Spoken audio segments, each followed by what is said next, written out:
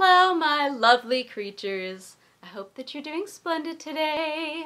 So I have a few updates on the channel for future projects coming up. First, I have my first music video that I'll be releasing. It'll be a cover of Minnie Riperton's Loving You.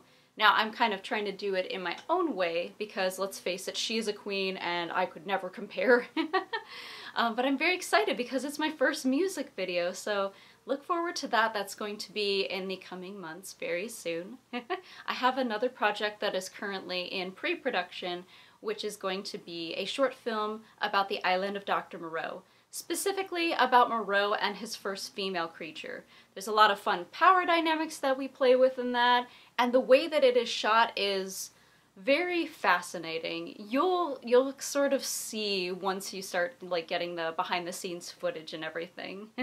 but I'm looking forward to that. If you haven't read The Island of Dr. Moreau by H.G. Wells, I highly recommend it. It is about a man who ends up getting shipwrecked on an island and he discovers that Moreau who was a surgeon back in London, decided to disassociate and create an entire island of animal people.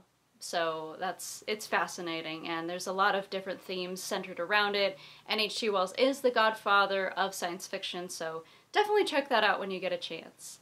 Also, as far as my novel goes, I am about 16,000 words into this beast I've also decided that it would probably be better as a series than as one novel because there's so much world building encompassing it, especially when you do fantasy. It's always very involved, which I'm excited for and relieved that it's now broken up into parts so that I don't have to worry about cramming everything into one. But it's also like, huh, now I've made more work for myself.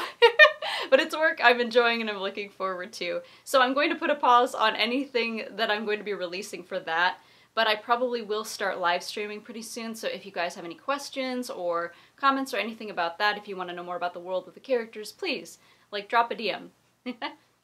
and then also, um, because I've, like, recently got a full-time job, I've had a little less time for some projects, but I do have a new series coming out, so look forward to that.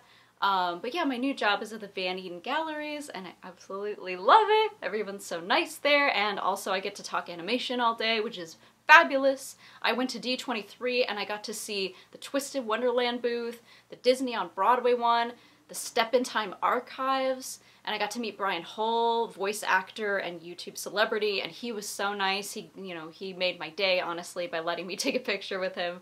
Um, but yeah, so it's been a lot of fun and a lot of opportunities, so I've been incredibly grateful because the year, uh, if I'll level with y'all, was looking pretty rough for a while there, so it's nice that this seems like things are kind of balancing out now. But um, for now, I'm just kind of working towards everything a little bit all at once, so I think things will start to pick up in more in the new year for the channel, just because then right now I'm trying to get used to the new job.